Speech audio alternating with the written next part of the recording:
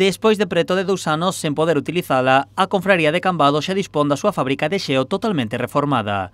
A factoría mellora a súa capacidade de produción chegando ata 65 toneladas diarias. A reforma correu a cargo da Consellería do Mar cun investimento de máis de 600.000 euros. Consistiron na sustitución da maquinaria e as melloras, as melloras que lle reportou, importantes. Falamos de que dunha produción que teñen de 50 eh, toneladas, pois isto provoca que na actualidade teñan ata 64 toneladas, cos aforros, aforros de enerxía eh, eh, que conleva, que conleva iso e a mellora para todos os, os que fan uso de, desta instalación. Este aumento permitirá satisfacer a demanda de todo o sector en Cambados, especialmente no verán onde a necesidade de xeo é máis alta. Pois sí que nos vai a beneficiar porque son máquinas novas, entonces teñen moitísimo menos consumo e fan moitísimo máis gelo. E diarios son sobre sobre 15 toneladas que, que pode dar a, a maiores.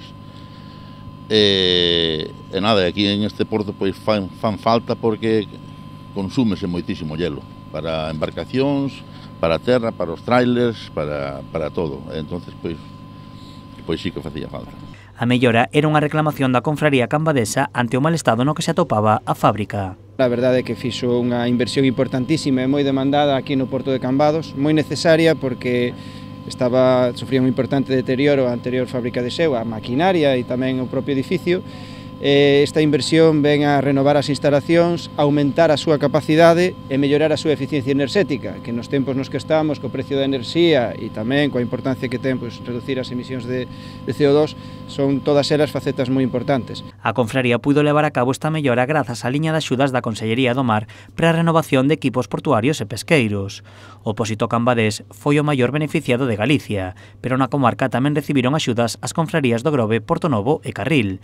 Precisamente Esta liña de axudas volve estar aberta para aqueles pósitos que queiran solicitala.